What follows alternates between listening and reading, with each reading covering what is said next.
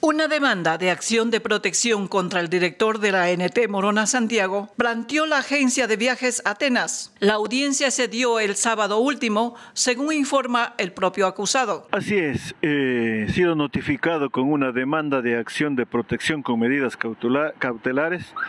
de parte de una compañía denominada Atenas Tours Express, en este caso al director de la Agencia Nacional de Tránsito. Bueno, fui convocado para el día sábado a las 10 eh, de la mañana al complejo judicial eh, aquí en la en el Cantón Morona, en la provincia de Morona, Santiago, a donde habíamos acudido a sostener, a defender nuestra eh, posición. En este caso, el argumento de la parte contraria, de la parte actora, ha sido de que el director de la agencia está realizando controles operativos eh, arbitrarios sin sujetarse a la ley, controles operativos que se obliga a Policía Nacional inclusive a dar citaciones por diferentes contravenciones que no son las que corresponden. En ese sentido, eh, hemos querido demostrar pues de que nosotros siempre actuamos en base a derecho, en base a la ley, en base a las normas, especialmente a la ley de tránsito, transporte terrestre, seguridad vial, a su reglamento. En este caso, los controles operativos que nosotros hacemos es en base al artículo 20 del reglamento de la ley de tránsito, de transporte terrestre y seguridad vial, en donde da la atribución y la competencia a los directores provinciales de las agencias de tránsito a coordinar con entes de control los diferentes operativos y en este caso en el numeral 6 pues manifiesta de que el director provincial tiene la competencia de organizar este tipo de eventos y pues eso es lo que hemos estado haciendo. Sorprendido, expresó que Atenas tiene un RUC para alquiler de vehículos, pero no un título que le habilite para ofrecer transporte público de pasajeros. Así es, es una compañía que no tiene un título habilitante, si bien es cierto, tiene un RUC como eh, para alquiler renta car, pero eso, eso no significa que tiene que eh, o debe o puede hacer transporte de pasajeros, transporte público. En ese sentido, eh, al hacer los controles operativos en donde nosotros eh, hacemos en las diferentes terminales y en los ejes viales de la provincia de Morona Santiago, pues y de parte de Policía Nacional se revisa documentación, en este caso el 10 de agosto el último feriado, aproximadamente a las 14 horas 40, eh, eh, pudimos visualizar un vehículo eh, con placa blanca, con placa particular, que en su interior transportaba pasajeros después de eh, cuestionarlo, después de las averiguaciones y el procedimiento de parte de Policía Nacional, pudimos eh, notar que se trataba de transporte informal. En ese sentido, ha sido procedido a, la retención vehicular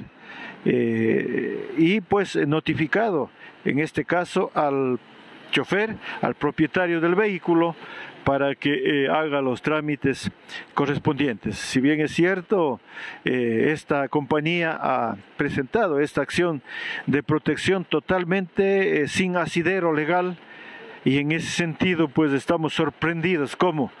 pretendan pedir a un juez que mediante resolución o mediante sentencia le ordene al director eh, de Tránsito de Morona Santiago y a Policía Nacional a que no hagan operativos. Y es más, nosotros como parte de la seguridad, el transporte es parte de la seguridad. En ese sentido, pues eh, hacemos eh, los, los procedimientos correspondientes. Este transporte informal que se ha proliferado en la provincia de Morona Santiago, sin cumplir ningún requisito, sin cumplir ninguna norma, no salen de un terminal. Estas bucetas denominadas Atenas, Atenas Tour eh, no sale de un terminal, no llega a un terminal, no portan una lista de pasajeros, no han cumplido con un título habilitante. En ese sentido, e inclusive están poniendo en riesgo, pues, eh, quizás la estabilidad de los, de los pasajeros. Es más, hace unos eh, días atrás hubo un tema de sicariato acá en, en, nuestro cantón Morona y de acuerdo a informe que tenemos que en este caso el sicario viajó desde la ciudad de Cuenca en uno de estos vehículos, acá hasta la ciudad de Macas, hasta la provincia de Morona, Santiago y posteriormente alquiló una motocicleta sin placa aquí en Sevilla Don Bosco y con estos eh, automotores pues llegaron a consumar eh, un delito. Entonces estas son las, las circunstancias preocupantes, inclusive que nos obligan pues a hacer el trabajo, a hacer los operativos, a hacer controles, obviamente en forma totalmente legal y amparado, eh, amparado en la ley. La audiencia fue suspendida para retomarse el lunes 11 de septiembre. La demanda interpuesta se dio el día sábado a las 10 de la mañana, como decía, pues por la agenda de la señora juez, después de tres horas de, eh, llevarse a cabo este procedimiento legal, pues se suspendió, se suspendió la audiencia y esto se retomará de acuerdo a la información de la señora juez el día lunes 11 sí, de septiembre, en donde tendremos que estar nuevamente acudiendo a los juzgados para pues eh, continuar y terminar eh, con una sentencia ya este, esta, este impasse, diría yo, que nos han provocado y que es hasta inexplicable cómo desde la ilegalidad, desde eh, el no cumplimiento de la ley, quieran pedir a un juez, quieran hacer eh, o desdibujar el trabajo legal, el trabajo honesto, el trabajo transparente que está llevando adelante el director de la Agencia Provincial de Tránsito. Solidarios con el director de la ANT, varios transportistas legalmente autorizados habían acudido al complejo judicial a brindar su apoyo moral a la autoridad. Estoy sorprendido de ver el apoyo de las operadoras de toda la provincia, en todas las modalidades, desde el transporte pesado hasta los taxis, han estado demostrando la solidaridad y han estado demostrando el respaldo a la Agencia Nacional de Tránsito, porque saben ellos que nosotros hemos demostrado hasta la saciedad que lo hacemos siempre apegadas a derecho. Y se decía también que es la primera vez en la vida, en la historia de la Agencia Nacional de Tránsito acá en Morona, Santiago, en que se reúnen todas las operadoras de todas las modalidades. Y en esta ocasión, pues para respaldar el trabajo,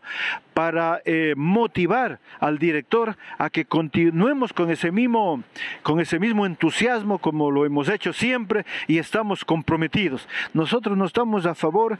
de nadie, sino estamos a favor de que se cumpla la ley. En este caso, al tratarse del transporte informal, pues están infringiendo el artículo 386 del Código de Procedimiento Penal, en donde manifiesta claramente que será sancionado con dos salarios básicos unificados, reducción de 10 puntos menos en su licencia y la retención mínimo de 7 días del vehículo. Entonces los que infrijan esta ley tendrán que atenerse pues a las sanciones correspondientes y no solo el transporte informal. Nosotros estamos en las vías, estamos en los terminales, no tenemos horarios, no tenemos itinerarios, no tenemos horas extras. Ustedes nos ven en las noches en diferentes viales haciendo nuestro trabajo. Yo quiero aprovechar para agradecer a mis compañeros de la agencia de tránsito que sin dudar pues siempre están apoyándole al director. Repito, aquí no hay horas extras, estamos 21 horas, 22, 24 eh, horas de la noche a la madrugada, estamos trabajando, estamos haciendo lo que tenemos que hacer y especialmente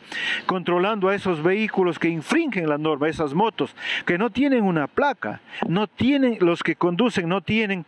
eh, un documento habilitante, no tienen una licencia de conducir. Muchos de ellos son de procedencia extranjera, son extranjeros los que de alguna manera pues están viniendo acá a nuestra querida provincia, a nuestro cantón, a cometer actos hasta ilícitos. No, no estoy generalizando, pero sí es preocupante que hemos tenido que ver y hemos sido testigos de que este tipo de, de actos se han dado. Es por eso que nosotros estamos trabajando pues para que se cumpla la ley de tránsito, transporte terrestre y seguridad vial. Sandra Marlene González, Expresa Morona, Santiago.